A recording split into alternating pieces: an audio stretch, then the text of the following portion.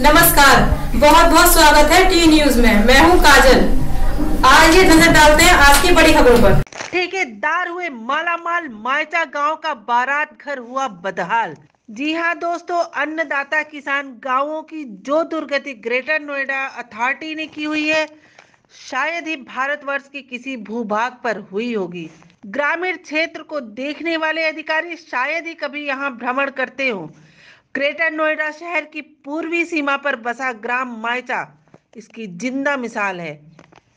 कभी इस गाँव में नाम के लिए बनाया गया यह छोटा सा बारात घर अधिकारियों के फीताशाही में फीता काटने और जेबें भरने के बाद कभी प्रयोग में नहीं लाया जा सका।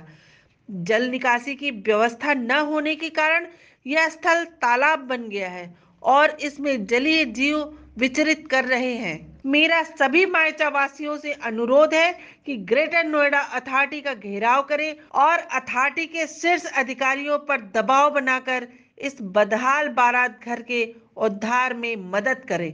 धन्यवाद, हरेंद्र भाटी, गौतम बुद्ध नगर।